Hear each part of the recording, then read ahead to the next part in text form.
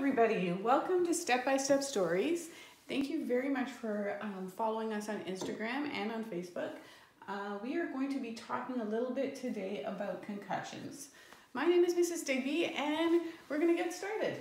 So what is a concussion? A concussion is when you have a brain injury, all right? Your brain is made up of something called soft, soft tissues and those soft tissues when they get hit, when you fall down, they can start to swell, all right? So a concussion happens when there's swelling in that soft tissue. What holds the soft tissue in place is something called spinal fluid. So if the spinal fluid wiggles and jiggles in your brain and it kind of dislodges a little bit, that's going to cause a concussion. That's what they will call it. So how does a concussion happen? Nowadays, a lot of us are trying out different things. We're doing different sports. We're trying out different activities. Concussions happen when you fall and hit your head.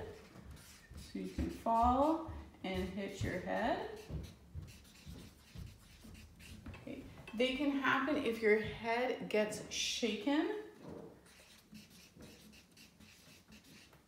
very firmly and they can happen if somebody hits you.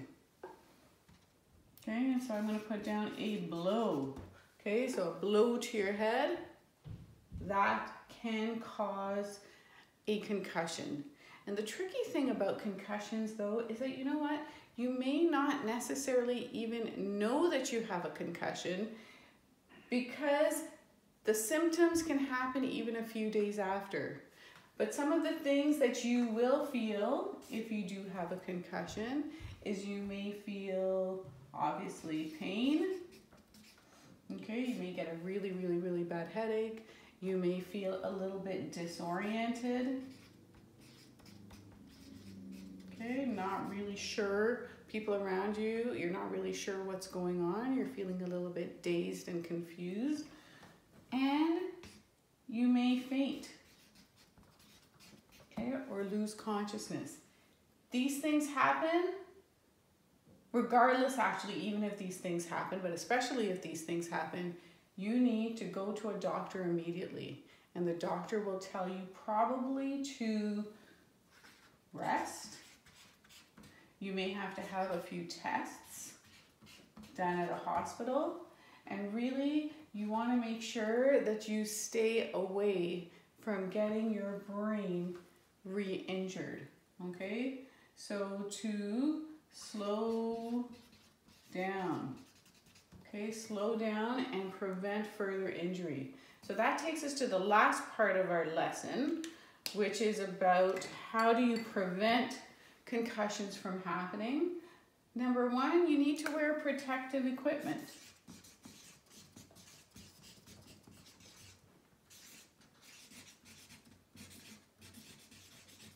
Okay, protective equipment. When you're out riding your bike, that's why you need to wear a helmet. In fact, interesting story.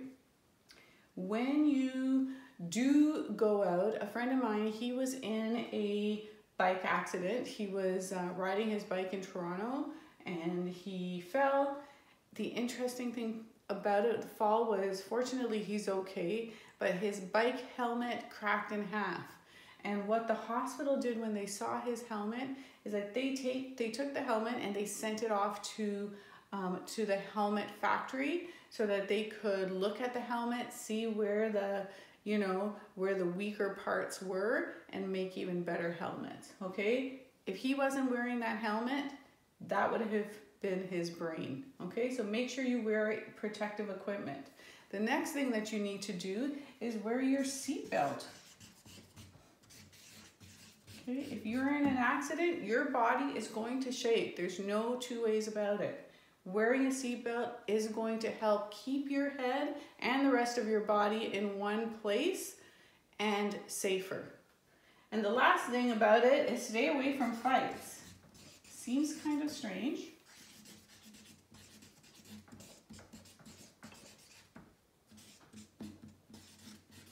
But it does happen, okay?